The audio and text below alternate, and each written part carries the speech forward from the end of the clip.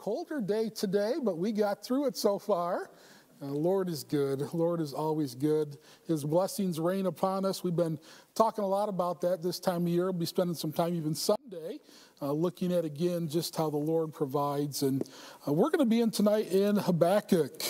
I'm probably going to say that three different ways tonight. Uh, I don't know how to say it right. Habakkuk, Habakkuk. Pastor Loggins, what's the proper pronunciation in the Hebrew, brother? Yeah, yeah, thank you. Okay. so uh, we're going to be looking at this this evening. So if you would turn there, and uh, there is a lot packed in uh, to this small book. So uh, we'll go through your handout there if you would, and uh, we'll make our way through this this evening as we always do. Uh, you also have an outline there provided with the handout that if you want to go back through this book, it shouldn't take you long to read through. you can take that outline and go a little bit more in depth with what we're even doing here in our evenings together. So, uh, first and foremost, when we see this book, we see God is good and right, just in his dealings, and worthy to be praised. And I think all of us would say amen to that. Uh, regardless of what state we're in, uh, we have a good God, and we know that he is just. Uh, we know his dealings are just, and in all of this, he is worthy to be praised. One of the illustrations uh, uh from uh, an author speaking of this, we've all heard the story.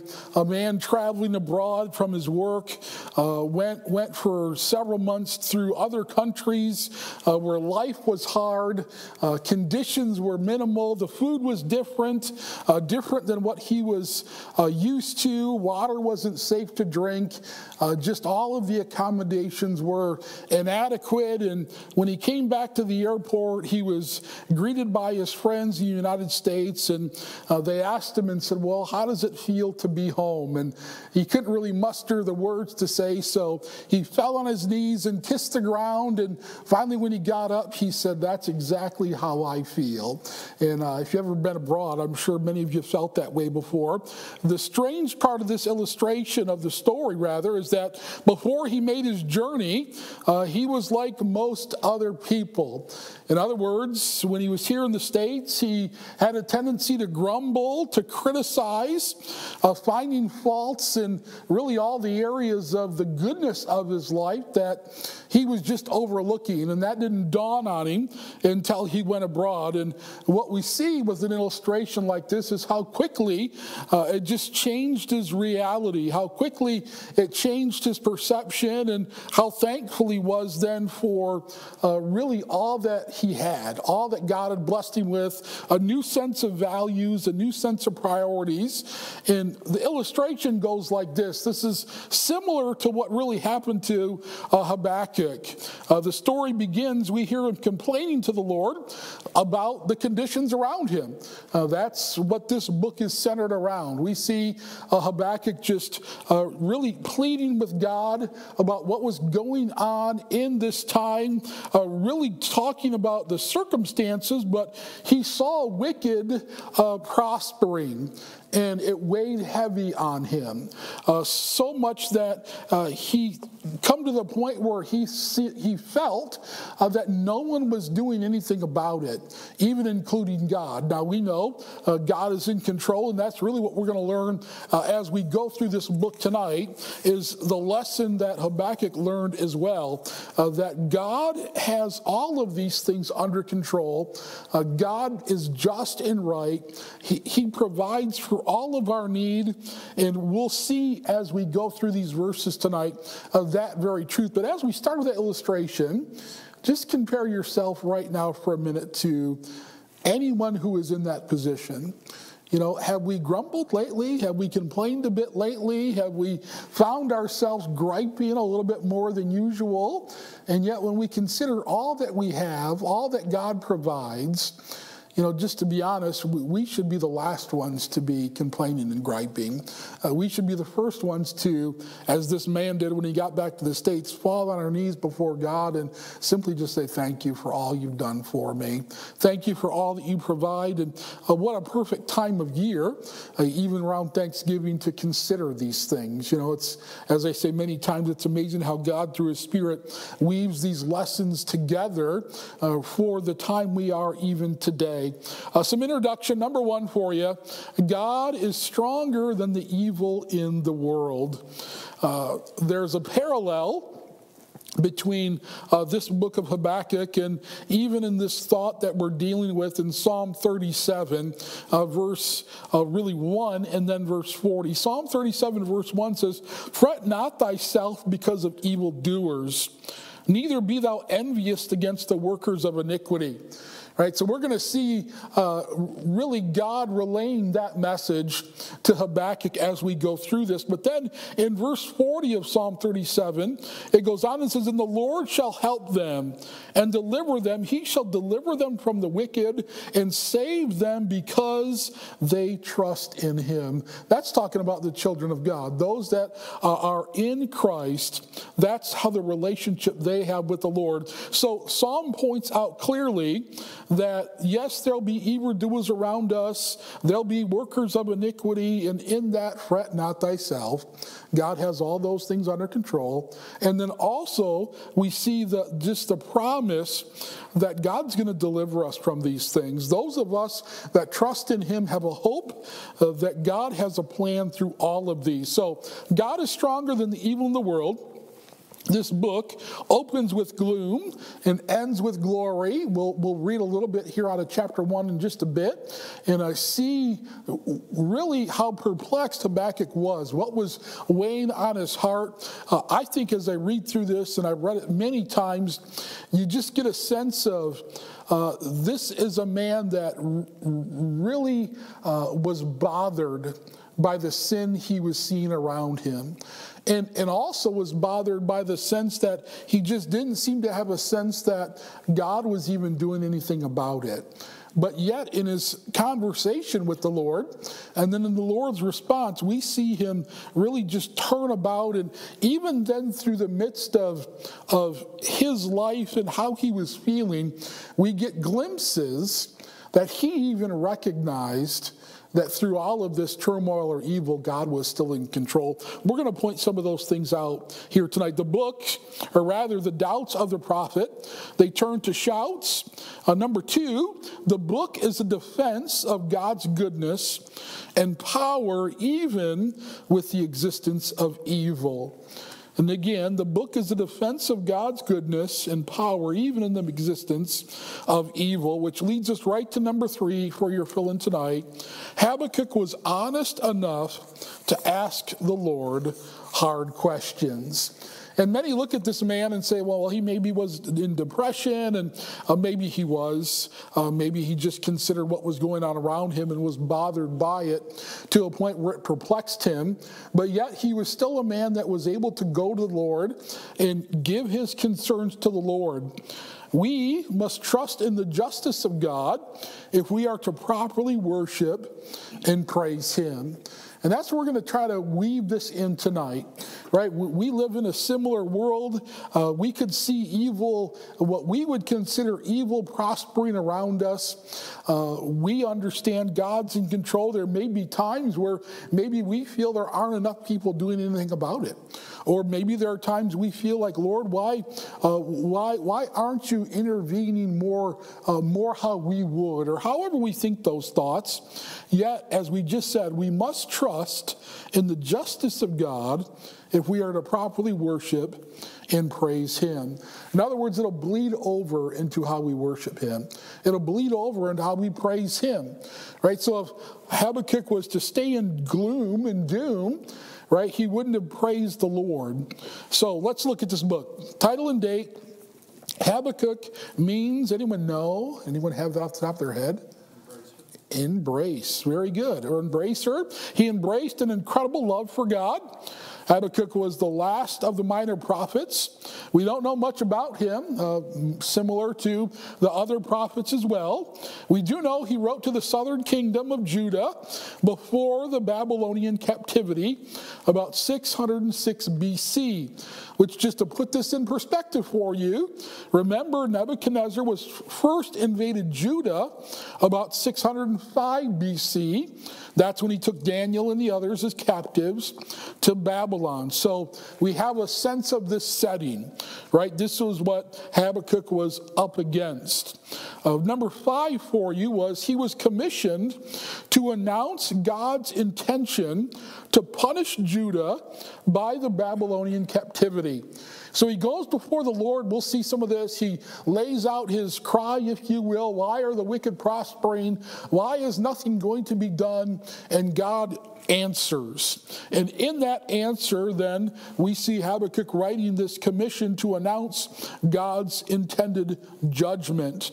Uh, the prophet Jeremiah described Judah's king Jehoiakim at the time. We went through that in Jeremiah. Chapter 22, verse 17 describes the king. He says, But thine eyes and thy heart are not, but for thy covetousness, and for to shed innocent blood, and for oppression, and for violence to do it. Right, so that's what believers, that's what they were up against right? A king that uh, was only after his own covetousness. Uh, Micah was the final prophet to the northern kingdom prior to the Assyrian captivity. Habakkuk was written around 620 to 610 BC. And just for some of his contemporaries, we'd see Jeremiah, Ezekiel, Daniel, Zephaniah.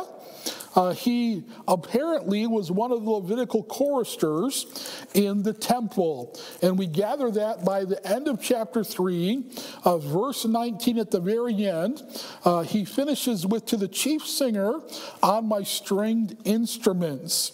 So, uh, number six there for you is a similar thought here. This prayer in chapter three was actually a song, uh, was, was a song and then accompanied by stringed instruments. And this is one of the hardest things uh, in, in Scripture to, for me to kind of figure out, even with the Psalms, because I'm just not a very musical guy. I can't read notes, never really been able to read notes. You know, I can kind of follow along with music. But when you see these things written out and you try to then wonder what was the tune to it, you know, what was the uh, the harps or the stringed instruments or the, what were the, what was the music behind these things is just always interesting for me. And I think one day we get to heaven, we'll be able to answer some of that as well. Uh, Habakkuk is a book about deep doubt. Uh, number seven, he's been called the doubting Thomas of the Old Testament. And he was a man that trusted God, yet was perplexed. And we see that throughout this book, as I said a minute ago. We, we see on one hand the, the grief, the sorrow he's feeling, the, uh, the perplexities of what's going on around him, but then we will see a glimpse that he, even in all of that anguish, has a sense that God's in control. Uh, he encountered two painful problems. Uh, number eight is the first one. Uh, how could God allow the sins of Israel to go unpunished? And he really lays his heart out in chapter 1. Uh, so look at verse 2 of chapter 1, just going to read down through verse 4. He said, O Lord, how long shall I cry, and thou wilt not hear? Even cry unto thee of violence, and thou wilt not save. Why dost thou show me iniquity? Cause me to behold grievance. For spoiling and violence are before me, and there are that rise up strife and contention. Therefore, the law is slacked, and judgment doth never go forth. For the wicked doth compass about the righteous. Therefore, wrong judgment proceedeth. So here's his cry. Here's his heart. Well, I, I also see a man that we may say he was a bit of a doubting Thomas. But yet he was a man with great compassion. He was concerned about his people. He was concerned about his countrymen that and how that evil would just continually be abounding upon them. So when we consider that thought, how could God allow the sins of Israel to go unpunished? Justice had essentially disappeared from the land. That's what he was pointing out. Violence and wickedness were pervasive. God tells him Judah would indeed be punished by the Babylonians. So he gets his answer. We'll see that here in a minute. Number nine was really the second uh, problem he had. How could God justify allowing a godless nation to punish Judah. And there again, he pours his heart out there, really at the end of chapter 1. So look at verse 12. He says, Art thou not from everlasting, O Lord my God? Mine Holy One, we shall not die. O Lord, thou hast ordained them for judgment. O Lord, thou hast ordained them for judgment, and Almighty God, thou hast established them for correction. Thou art purer eyes than to behold evil, and canst not look upon iniquity. Wherefore lookest thou upon them that deal treacherously, and holdest thy tongue when the wicked devoureth the man that is more righteous than he? Notice his prayer here. Right, God, how are you seeing this and not doing anything? How are you uh, seeing this and not saying anything? How can this evil rise up against those that are righteous? Verse 14, and makest men as the fishes of the sea and the creeping thing that have no ruler over them. They take up all of them with the angle and catch them in their net and gather them in their drag. Therefore, they rejoice and are glad. Therefore, they sacrifice under their net and burn incense unto their drag, because by their portion is fat and their meat plenteous. Notice that prayer, if you will. He says the enemy is, they're, they're happy because of the spoils they're getting. They're, they're giving incense. They're worshiping because they're fat in their substance. He said, Shall they therefore empty their net and not spare continually to slay the nations? And then look at chapter 2, verse 1. I will stand upon my watch and set me upon a tower and will watch to see what he will say unto me and what I shall answer when I am reproved. And there we even get a glimpse then of him wanting to hear God's response. So, in the second in the second problem, how could God justify allowing a godless nation to punish Judah? Judah, at least, were believing in God. Judah had some good men left in the land. God answered that he would judge the Babylonians as well. Number nine, Habakkuk sees one of the greatest manifestations of God's glory and power in all the Bible. And look there in chapter 3. Uh, we, we see some of this description. I'm not going to read all these verses, but verse 1 down through 16, I'll just read a few of them uh, so you can get a sense of uh, what Habakkuk was seeing here. He says, Prayer of Habakkuk, the prophet of Shigionoth, the Lord, I have heard thy speech and was afraid. O Lord, revive thy work in the midst of the years. In the midst of the years, make known in wrath, remember mercy. And here's the description God, God came from Teman, and the Holy One from Mount Paran, Selah.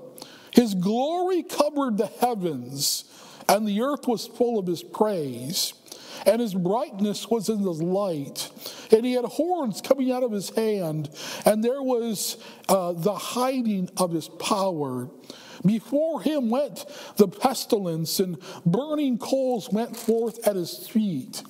He stood and measured the earth and beheld and drove asunder the nations, and the everlasting mountains were scattered. The perpetual hills did bow. His ways are everlasting. He even goes on in verse 10, he says, The mountains saw thee and they trembled, and overflowing the water passed by. The deep uttered his voice and lifted up his hands on high. The sun and the moon stood in their habitation, and the light of thine arrows they went and at the shining of thy glittering spear. He's giving this description of the glory and power of God. Now, remember how we started out right? He started out in despair. He started out saying, God, where are you? God, we need someone to deliver uh, your people. God, this evil's rising up. Wicked men are, are, are, are having their way with your people, yet you're doing nothing. And by the end of this book, he gets a glimpse of who God really is. And he understands that God has all of these things under control. Number 11, Habakkuk's great theo- uh, theological declaration is the just shall live by faith is quoted three times in the New Testament. I might have each of you turn there. So I have somebody turn to Romans chapter 1. I have a volunteer for Romans chapter 1 quickly, quickly. I'm looking around. Pastor Loggins. I need Galatians chapter 3, I see your hand, Mrs. Lane? And then Hebrews chapter 10. Who's got Hebrews? Not all at once now. All right, Ron. All right, so it'd be Romans 1:17, Galatians 3:11, Hebrews 10:38. So remember, his proclamation is the just shall live by faith. Pastor Jesse, would you read Romans 1:17? For therein is the righteousness of God revealed from faith to faith, as it is written, the just shall live by faith. All right, Galatians 3:11. But that no man is justified by the law in the sight of God, it is evident, for the just shall live by faith. All right, and then Hebrews 10:38, Ron. Now the just shall live by faith, but if any man draw back, my soul shall have no pleasure in him. And we're going to see when we're done here tonight how this ties into our life as believers. When we understand that uh, God is just, that He then is in the dealings of all that we're going through, how we, we then live this life in faith, we received Him by faith. That then faith helps us, sustains us through all we go through. Habakkuk speaks of that truth these many, many years before. Number 12, we'll tie these things together. Lessons to learn God is to be worshiped because he is God. God is not to be worshiped just because of the blessings he gives. And he speaks of that truth in chapter 3, uh, verses 17 down through 19. Habakkuk comes to this truth. He says, Although the fig tree shall not blossom, neither shall fruit be in the vines, and labor of the olive shall fail, and the field shall yield no meat. The flock shall be cut off from the fold, and there shall be no herd in the stalls. So notice that description right there's there's wanting uh, there's no fruit there there's no meat there everything's empty look at then his response in verse 18 yet i will rejoice in the lord I will joy in the God of my salvation. And he goes on in verse 19 the Lord God is my strength. And he will make my feet like hinds' feet, and he will make me to walk upon mine hind places. Again, God is to be worshiped because he is God, not because we have blessings in our life. Now, this is a time of year where we thank God for the blessings we have, and we ought to, right? But even if we didn't get to enjoy all these many blessings, we should still worship God because He's God. We should still worship Him just for the simple fact that we have a relationship with Him. And this is all through Scripture. This was really Job come to this understanding. Job chapter 42, 5 and 6, you know the story of Job. He says, I have heard of thee by the hearing of the ear, but now my eye seeth thee. He said, Wherefore I abhor myself and repent in dust and ashes. Job at this point lost everything he had and come to realize that God is still God. He's worthy to be praised. He's still in control. We read a verse out of Isaiah many times 55, 8, 9. My thoughts are not your thoughts, neither are your ways my ways, saith the Lord. For as the heavens are higher than the earth, so are my ways higher than your ways, and my thoughts than your thoughts. Listen, have you considered that just as of late? We get so muddied down with the things that go on around us, don't we? We get so muddied down with circumstances and uh, all the things that have even happened within our country as of late and even up until today. But yet the Bible declares, again, God has this all under control. His ways are higher than our ways, His thoughts are higher than our thoughts. So are we then going to be like Habakkuk and just kind of waller in the Lord, how come you're not doing anything? Or are we going to stand firm in our faith knowing that God is doing something? He's sovereign and he, he has a plan in all of this. And I believe part of that plan is using us. Right? He's using those of us that are just, those of us that have received uh, Christ by faith uh, to be this light in the dark world around us. Number 13, a person is justified only by faith in the Lord Jesus Christ. We know this truth. Right? We're saved by the death, the burial, the resurrection of Christ.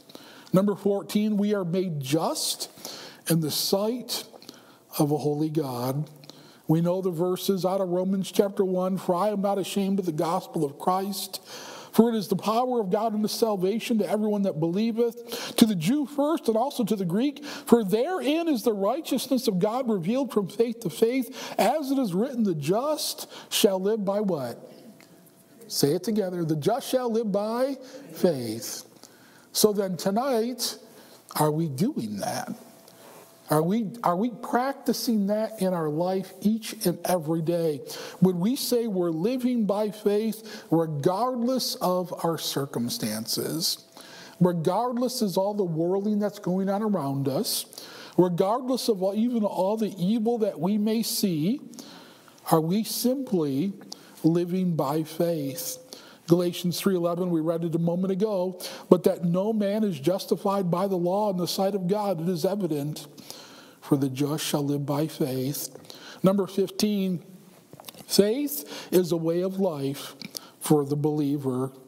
Because we are accepted as God's beloved, we are just, and we go on and live by faith. Again, are we doing that tonight? Colossians 1 22 and 23, in the body of the flesh through death, to present you holy and unblameable and unreprovable in his sight.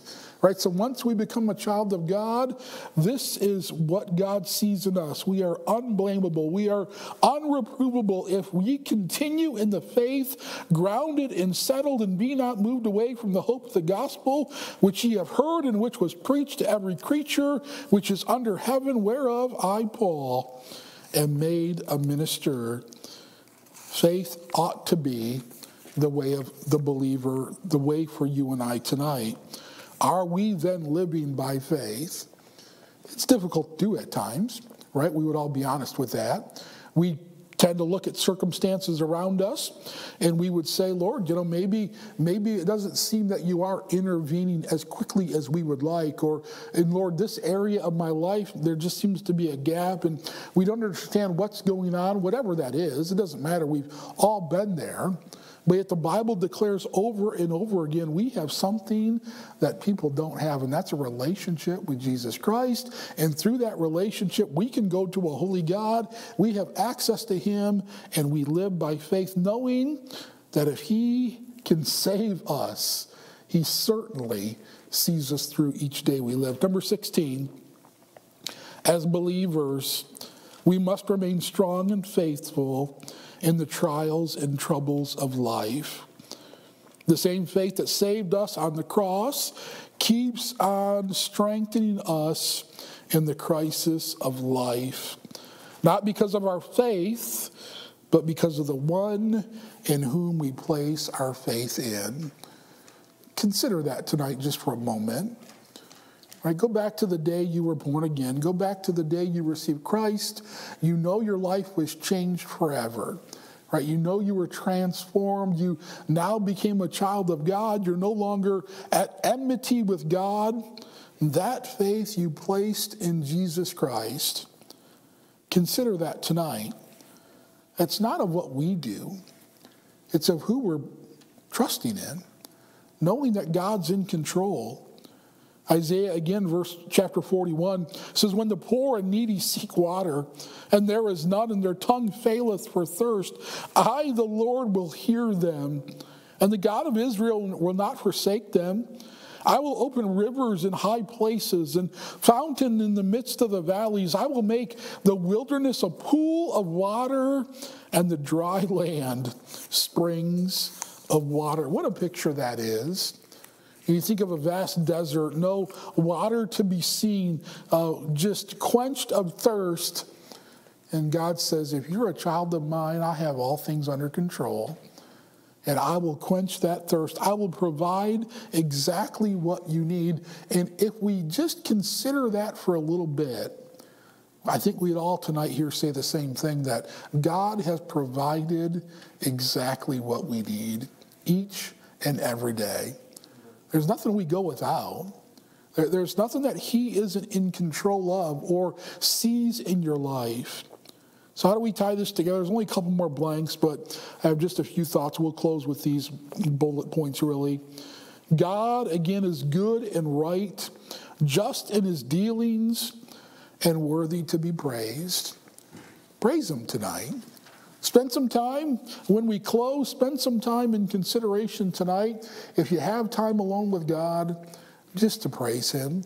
Praise Him that He is just. Praise Him uh, that he, he has all of these things under control. We may not see the outcome, we may not know what His plan is, but we can praise Him knowing He's in control.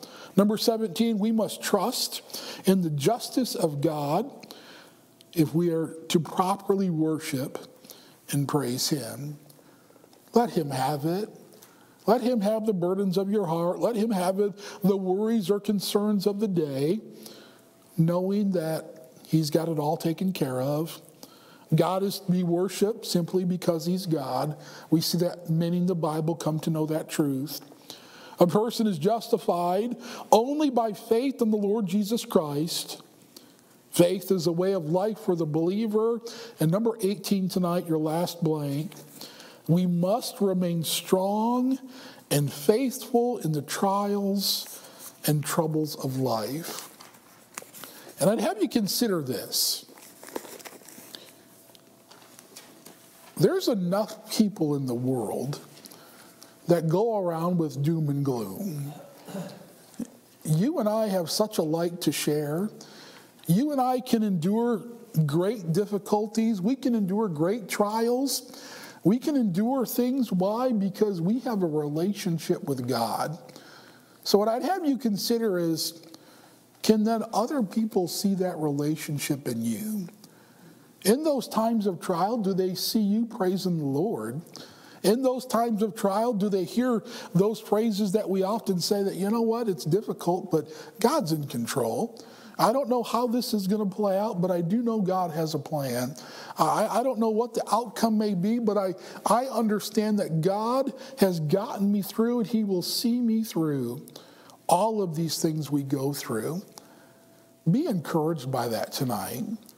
And then, and then if you're going through one of these difficult times, I believe Habakkuk was going through a difficult time in his life. This was, this was something that was weighing heavy on his heart in his life. He was pleading with God. He'd come to the point where he said, God, I'm just going to listen.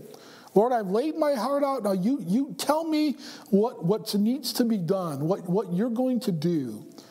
And God, in a, in a marvelous way, reveals his glory, tells them, I have all of this under control. They're going to be judged. I, I see what's going on. And in that conversation, in him seeking the Lord, God does exactly what he often does for you and I.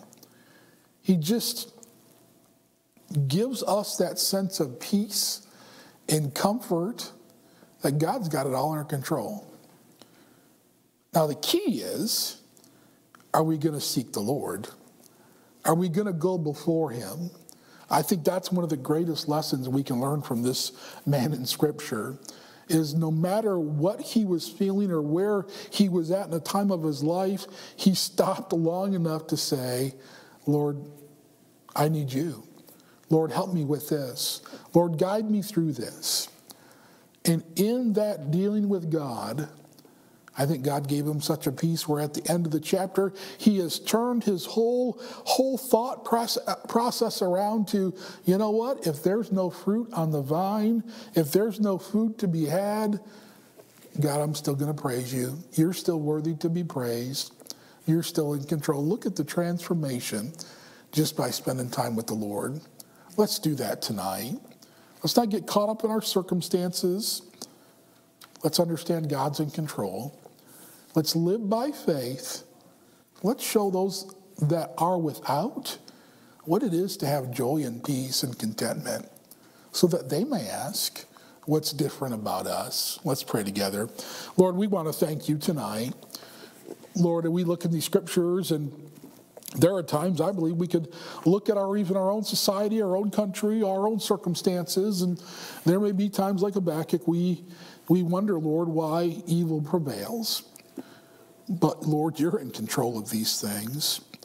Lord, you have a purpose, you have a plan, and God, what's so wonderful is in that plan, you're desiring to use your children.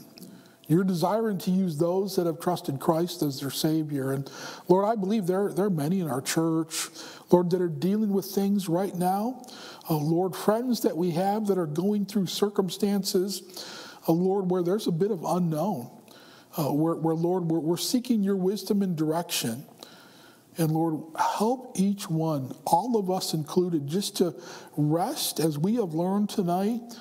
The Lord, you take care of all of our need. Even in the times where we feel that maybe there's a bit of drought, you promise that you'll provide. You promise that you'll take care of your child. And Lord, we thank you for those promises. We thank you that those promises never fail. And God, help us, I believe, to have an attitude uh, like Habakkuk had later on, Lord, where he realized who you were.